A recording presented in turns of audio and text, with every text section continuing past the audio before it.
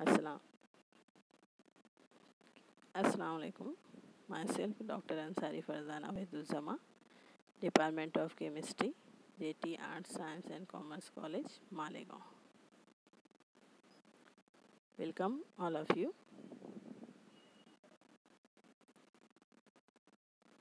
In previous video, we have seen about the Ohm's law and electrical units and also the specific resistance.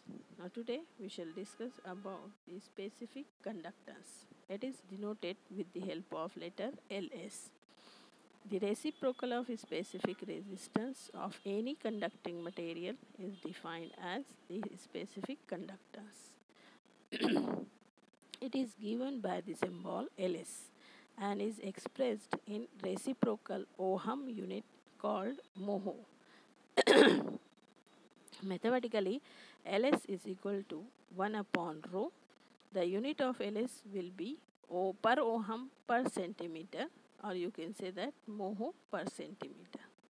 The conductance is reciprocal of resistance of conducting material. Therefore, L is equal to 1 upon R. So, from equation 3.4 that means in the equation R is equal to rho L upon A. It becomes substituting the value of rho. Value of R, sorry, not value of rho, value of R, it becomes L is equal to A upon rho L. Therefore, L is equal to Ls A upon L. A specific conductance is the conductance of 1 centimeter cube of material.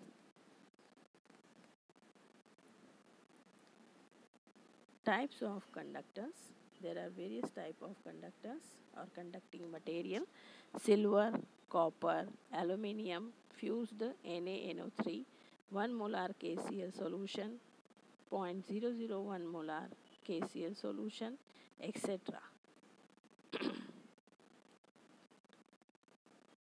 in this table we have shows this table that means this table shows that specific resistance of material are much lower than those of electrolyte taken in fused form or in the form of their aqueous solution. The reason behind this observation is that the conductance in a metal occur due to movement of electron while that in solution of electrolyte occurs due to movement of ion and the mobility of electron which is much greater than the mobility of ion. The table further shows that the specific resistance of solution of strong electrolyte are lower than those of solution of weak electrolyte.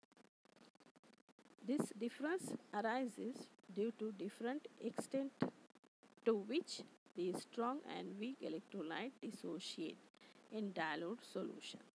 The strong electrolyte dissociate almost completely in dilute solution while weak electrolyte dissociate partially. Therefore, the number of ion in the solution of a strong electrolyte at a particular concentration is considerably greater than those present in the solution of weak electrolyte having the same concentration. The conductance in metal is called electronic conductance while that in solution of electrolyte is called as electrolytic conductance or ionic conductance.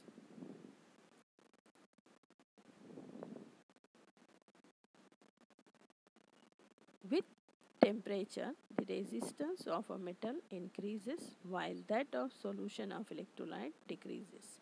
This is because mobility of electron decreases with rise in temperature while the mobility of ion increases.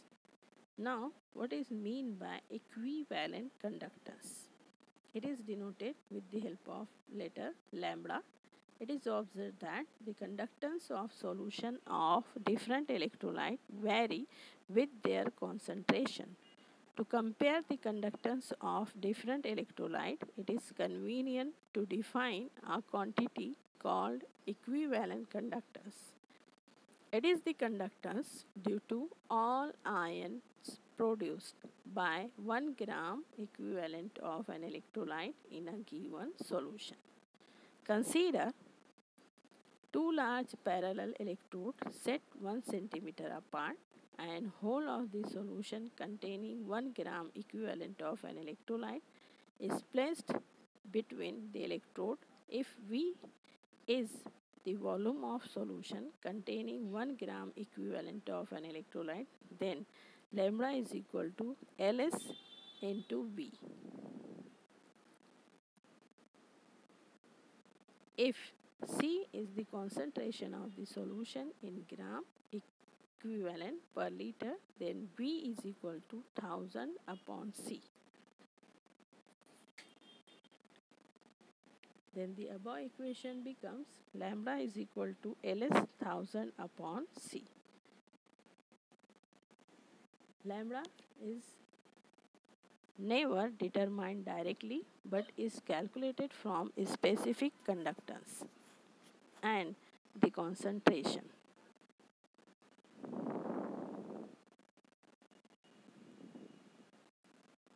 Determination of conductors. For determination of conductors, we are in need of the conductivity cell. The solution whose resistance is to be determined is taken in conductivity cell.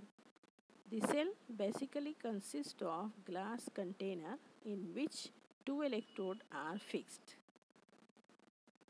The electrodes are of stout platinum foil.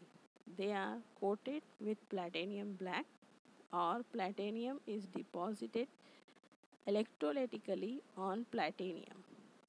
The deposited platinum consists of very fine platinum particle and appears black, hence name platinum black in practice.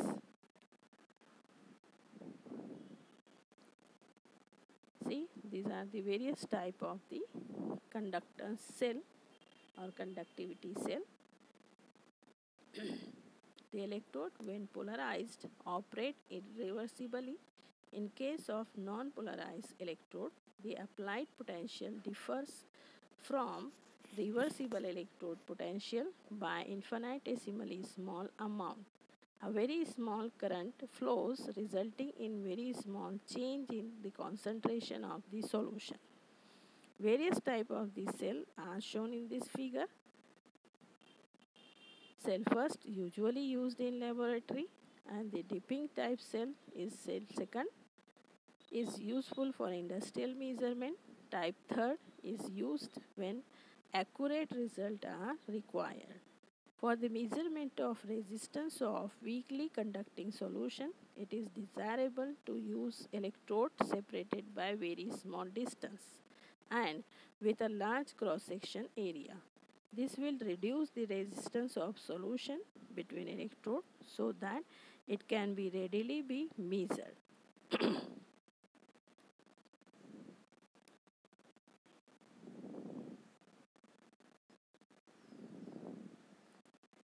Wheatstone bridge circuit Wheatstone bridge circuit in some form is employed in the measurement the circuit diagram is shown in this figure.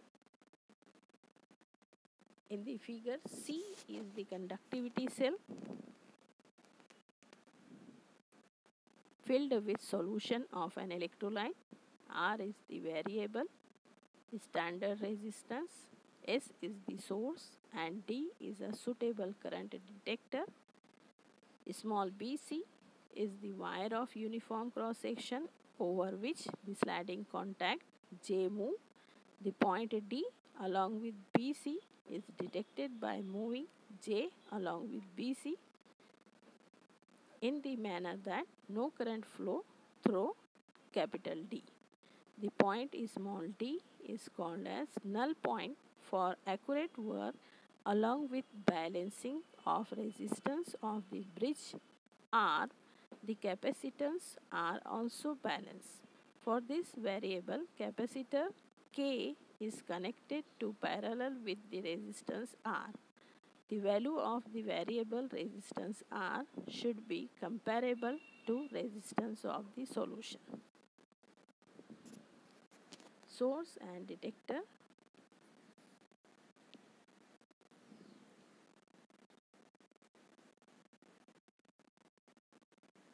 formally directed direct current was used in the conductance measurement. During measurement electrolysis occurred which changes the concentration of solution. This means that the measured resistance would not be referred to original concentration of solution. Secondly the product of electrolysis accumulating at electrode interfere with the measurement to avoid this, F.W. Kohlrausch suggests the use of alternating current in the measurement. A source with output frequency of 1000 to 2000 Hz is normally used. The advantage of AC is that change in solution concentration due to a small amount of electrolyte occurring in half cycle reverse completely in the subsequent half cycle.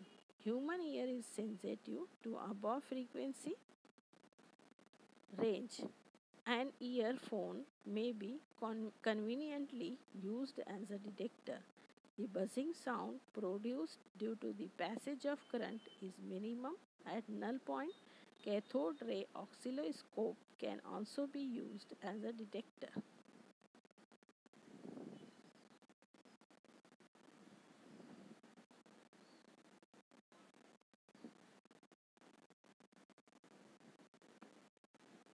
Calculation of resistance of solution. To understand the method of calculation, consider the circuit diagram in the previous figure except that the source of alternating current is replaced by battery. This modification is shown in this figure. The current I from battery get divided into two parts I1 and I2. At C, the passage of current through any resistance is accompanied with potential drop across the resistance. It is given by product current into resistance. At the null point, the point A and D are the same potential. For this potential drop across C and A equal to potential drop across C and D where R2 is the resistance of wire DC. Similarly, we can write potential drop across AB is equal to potential drop across DD.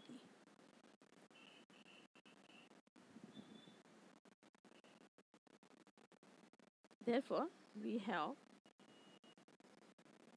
I1 Rx is equal to I2 R1. We get dividing this equation two equations then this equation becomes Rx upon R is equal to R1 upon R2. Thus knowing R, R1, R2 the resistance of the solution of electrolyte may be calculated. Thank you for watching.